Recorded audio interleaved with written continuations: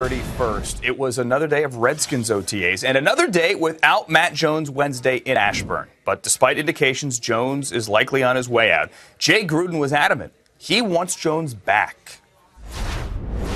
You know, I, I hope so. I expect him to be. He's on our roster. You know, he's heating up a spot, but, you know, we all know that this is voluntary. So there's really nothing that we can do. We'd like everybody to be here without a doubt, but at the end of the day, you know, Jordan Reed's in Miami working out, Trent's working out in Oklahoma. Matt Jones chose not to be here, so uh, you know, we obviously want people to work together and learn together, but it is voluntary at the end of the day.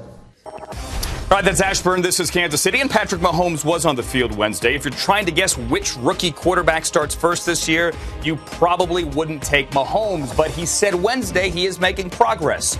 Granted, it's a process. Uh, yeah, I mean, just really diving into the playbook, getting up to speed on trying to catch up to where these guys are, and uh, really just going through the motions, learning from mistakes, and getting better every rep. I don't know if it's if I'm that far away. It's just more about I just got to keep working, keep getting better. I mean, these veterans are guys who've been around the league, been in the league, and have been very successful. So, in order to be like them, I got to really go as hard as they do and catch up to them.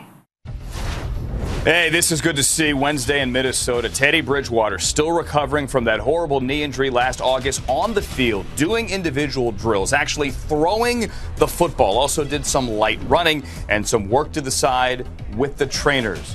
Not back anytime soon, but it is certainly a good sign.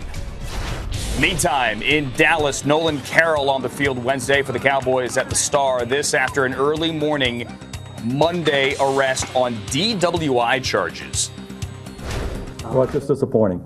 Uh, obviously, it's a very serious issue, and it's an issue that hits close to home uh, to us, and uh, it's something that uh, we just have to all learn from. He has to learn from it individually. We have to learn from it as coaches, players, staff members, and everybody, because uh, it's a disappointing situation. There's no excuse or no explanation for it. I'm Andrew Siciliano, and that's what you need to know.